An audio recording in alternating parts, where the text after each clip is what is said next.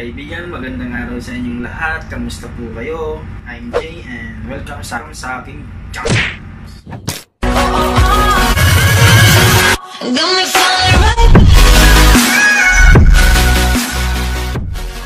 Kung bago kayo sa aking channel, huwag kalimutang pindutin ang subscribe button, like, and comment down below.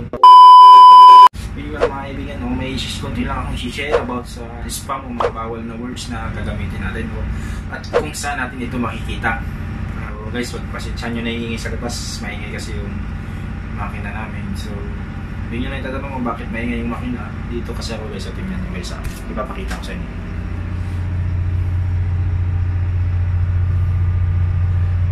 Ano man ang iniisip ko guys? Alam ko, tama, isa pa akong baguhang seaman. Baguhang seaman, baguhang vlog- vlogger. So, bago lahat, mukha lang ang hindi. Gago!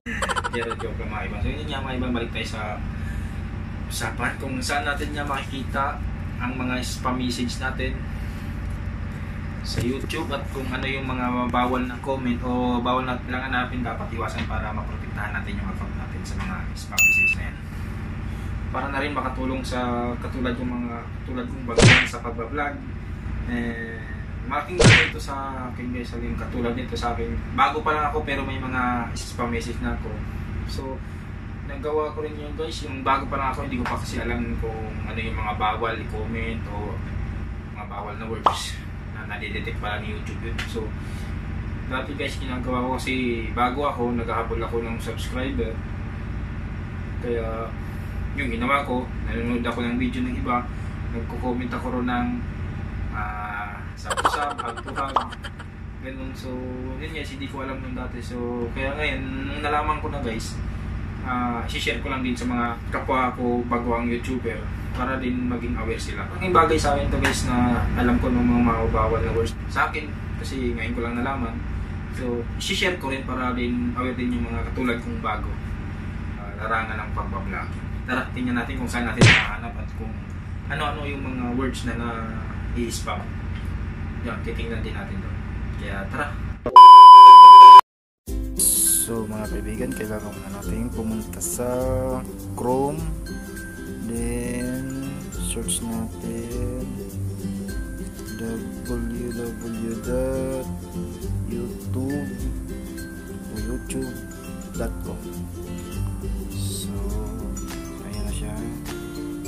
kaibigan. Then, select natin yung picture natin. Ayan, tapos pindutin natin ito ang Creator Studio. After nun kaibigan, punta naman tayo sa community. Sa community kami dito natin makikita ang mga comment. Dito, meron dito yung publish comment. Ito yung so, kailangan natin puntahan yung ito kaibigan, yung likely spam natin. After that so dito na natin makikita mga kaibigan ang spam message ba nagkakaroon? Bakit na ba na spam nasa spam folder yung mga comment nila so basahin natin guys ha, kung bakit ha. so ito. Ay po nakatambay na ako sa bahay mo idol. Sinimpa ko na pulang pintuan at may wagang kampana. Pakisipan na lang din ng pulang pintuan ko. Salamat at more power. So yun nga, mga kaibigan. Kasi mga kaibigan may word siya dito na bahay. So nadidetect na rin ni youtube kaibigan siguro nandito na siya sa mga sa spam folder ko. Marami pa dito. Kaibigan meron dito yung ay po pwede po bang mag sub to sub so sub to sub yun ay bakit na bawal yun kaibigan so yun kaibigan ayun sa tulad kong baguan at sa mga baguan natin yung mga youtuber dyan. Uh, iwasan na lang po natin na mag, comment ng mga bawal na words. Kukomment tayo so, sa video na napapanood So, ayun nga guys, no, nakita na natin. So, kaya nababawasan yung subscribers natin. Eh. Katulad sa akin, ah, meron ako 100 ah, subscriber loss. Malaking bagay yung guys. So, at least aware na tayo sa mga ganong bagay o sa mga ganong pangyayari. Kaya sa susunod, dahil nalaman ko so kailangan iwasan na natin yun. Hindi naman masamang makipag-sub to sub guys eh. Kaya lang, kailangan lang din natin ng technique sa pagko-comment. Kaya yun nga guys, kaya dapat natin iwasan. Para maging aware na rin tayo sa mga ganong mga bagay-bagay. Apekto rin kasi yung mga spam message na yun eh. Kasi halimbawa, uh, nag-comment sa'yo ng sample sa i-review ni YouTube yun. Tapos nawawala na siya, napupunta lang siya sa wala. So sayang din yun kasi guys. Kaya ngayon, iwasan na natin yung mag-comment ng ganun.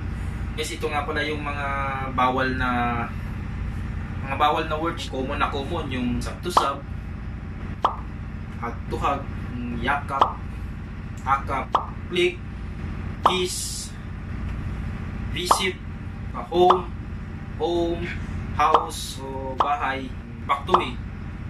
Yung back to me. So, yung may mga number guys na halimbawa yung I'm I'm number 13 on your channel, yung mga ganyang, mga ganyang words guys, nadidetect na rin ni YouTube yan. Kailangan maging aware tayo.